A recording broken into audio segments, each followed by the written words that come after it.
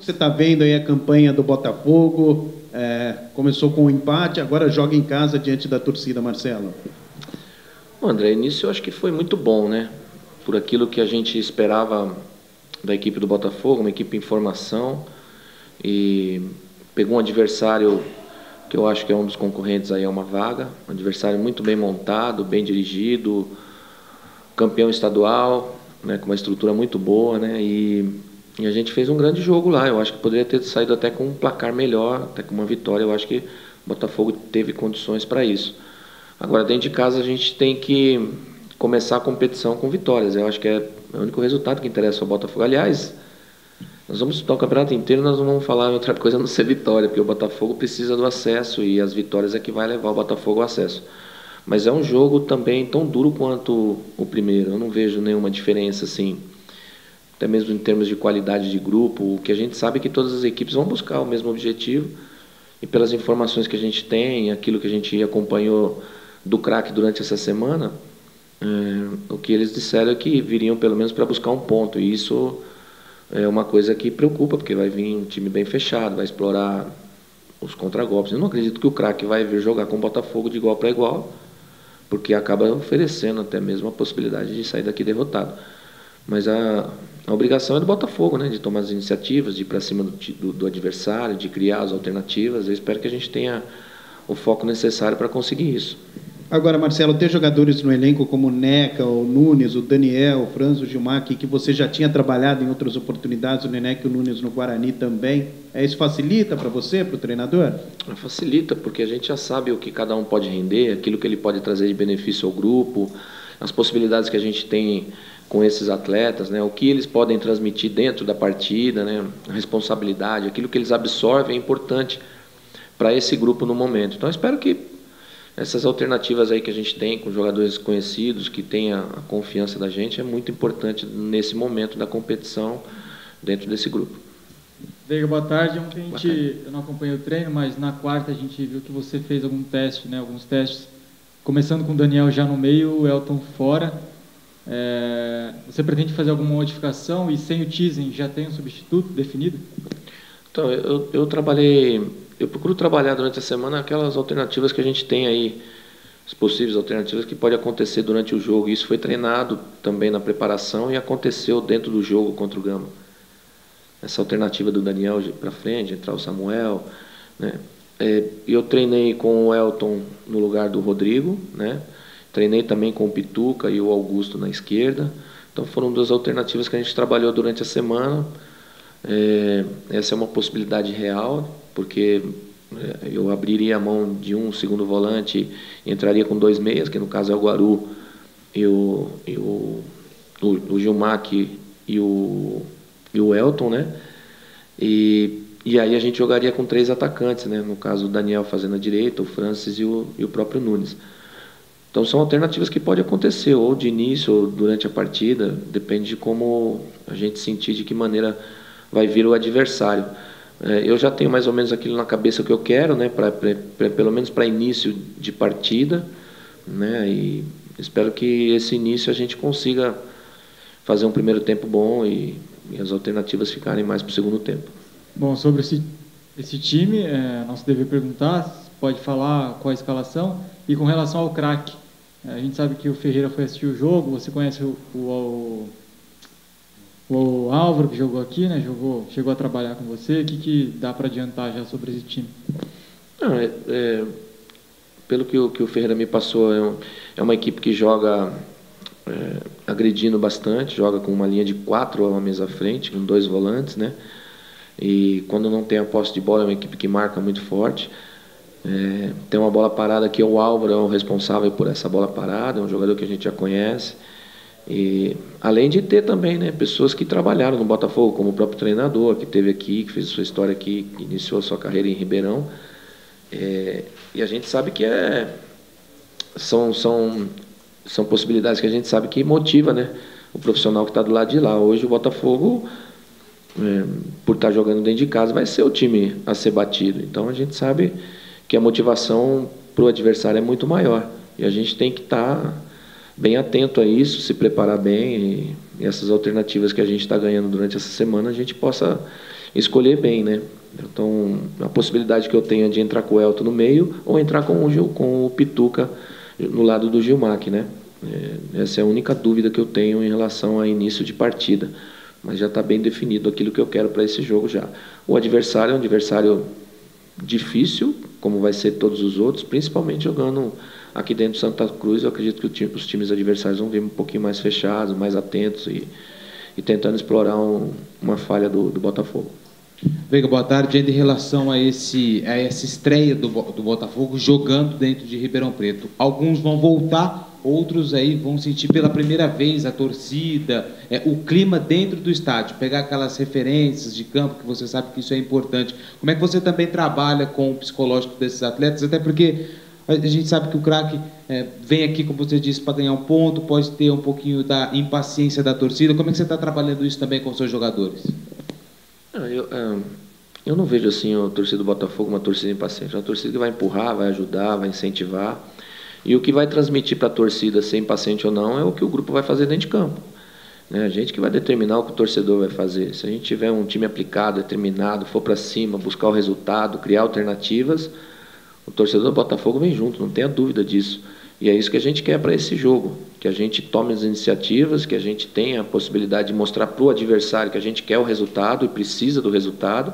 Eu acho que isso é o mais importante, sem deixar de respeitar o adversário. Eu acho que a gente tem que respeitar o adversário, que vai ser um adversário que está buscando uma vaga também, hoje é o líder do grupo, mas a gente precisa dessa vitória para continuar a nossa caminhada aí. A gente sabe que é importante ter o torcedor do lado, acho que nós temos jogadores experientes, são poucos aqueles que que não jogaram aí dentro e, e a gente tem essa expectativa de estar do lado do nosso torcedor e, e poder tirar proveito disso, porque a gente sentiu que quando jogou fora de casa também o torcedor do Gama também empurrou o adversário. É, se você escolher optar pela, pela, pelo Elton ali, jogando com três atacantes, o Daniel, o Francis e o Nunes, é, você vai ter que exigir um pouquinho mais do Elton na marcação e também do Gilmar, que vai ser um pouco mais pegador. O que você vai passar para esses jogadores aí que vão ter que conter os contra-ataques da equipe do craque e também do sistema defensivo. Vai ter que ter uma atenção um pouco maior, né? Ah, a gente corre um risco maior, né? Já visto que a gente só tem um volante de contenção, porque eles também vão ter com uma linha de quatro jogando na frente, a gente vai ter que prender um pouquinho os laterais. Se eu tiver com o Pituca e o Gilmar, que a gente vai ter um pouquinho mais de liberdade pelos lados e dar uma liberdade também maior para o próprio Guaru criar, eu acho que isso é importante. Eu acho que assim, o que a gente vai fazer, o que eu estou pensando, é de procurar fazer o certo, né? E que a gente possa tirar proveito. São alternativas que a gente vai ganhar durante a partida, que nos treinamentos eu, eu vi muito, com muito bons olhos todas essas formações, ah, tanto é, com o Pituca, como com o próprio Elto, é, com o Augusto na lateral. Eu fiquei muito satisfeito com tudo que eu vi, porque o time está aplicado, está querendo, isso é o mais importante de tudo, é, porque a gente sabe que eles estão entendendo a importância que tem ter um resultado positivo nesse jogo. Agora, com relação ao Vitinho, Veiga, como que você espera é, utilizar esse jogador no decorrer do campeonato? Ele chegou essa semana, inclusive é, já foi feita a inscrição, está guardando apenas o nome do jogador aparecer no bid. Se tiver tudo certinho tal, ele já fica à disposição para domingo. É um é. jogador que você espera contar no time titular? Como que vai funcionar isso? Não, eu creio que sim. Se ele tiver à disposição já, com certeza já deve estar junto conosco aí até para essa partida, né? É um jogador experiente, jogador muito técnico, faz a mesma função que o Guaru e o Elton, né? Ele tanto pode jogar pela beirada como joga também por dentro. Aliás, a função dele é por dentro, né? Então, é um jogador que vai acrescentar bastante né, no elenco do Botafogo e a, a, partir do momento que ele tiver à disposição, ele vai ser importante para a gente aí. Espero que ele saiba aproveitar bem as oportunidades e, e vai depender dele ser titular da equipe ou não. Né? Eu acho que as alternativas o Botafogo está tendo e isso é o mais importante, né? Muito se fala naquele, o treinador vai ter dor de cabeça. Quem tem dor de cabeça é quem está jogando. Ele que tem que brigar para jogar, não sou eu. Eu só tenho que escalar. Então fica muito mais fácil para mim, porque as opções que a gente ganha são opções de qualidade e facilita muito o trabalho da gente. Veiga, só ainda falando um pouquinho da contratação do Vitinho, é, é um jogador aí que a gente viu no Mogi, tem, tem muita, muita bagagem, muita experiência, até pelos títulos conquistou, principalmente acesso da Série D. E naquele jogo, acho que contra o Penapolense, no amistoso, eu te perguntei sobre esse jogador, você falou que não sabia, não estava é. sabendo de nada. Foi para despistar ou já tinha alguma coisa? Você ou, você que pediu a contratação desse jogador e a respeito de mais um atacante que está chegando? Foi exatamente essa foi a situação. Não só ele, como o próprio Serginho. Vamos esclarecer aqui, porque na realidade aconteceu o interesse para os dois, a conversa houve com os dois e a gente não podia anunciar. Você vê que a gente anunciou, o Vitinho a gente conseguiu tirar porque ele já tinha rescindido. Já o Serginho eles não liberaram mas já, tinha, já, já, estava certo com o Serginho, o Serginho realmente ia se apresentar e o Mugi não liberou. Então, às vezes, quando a gente anuncia alguma coisa, é justamente por conta disso, para a gente não perder a oportunidade de ter o atleta conosco.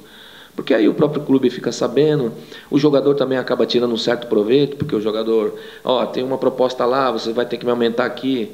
Conversa, essas conversas existem, e a gente sabe que a gente acabou errando, porque se a gente não tivesse anunciado que que teríamos interesse nesses atletas, dificilmente a gente teria perdido até mesmo o Serginho, que não estava nem sendo aproveitado. E depois do interesse do Botafogo, quando se iniciou as conversas, ele jogou dois jogos, um ele fez dois gols, no outro ele fez o passo para dois. Ah, o Mogi não vai liberar. Mas é, paciência faz parte, eu acho que a gente.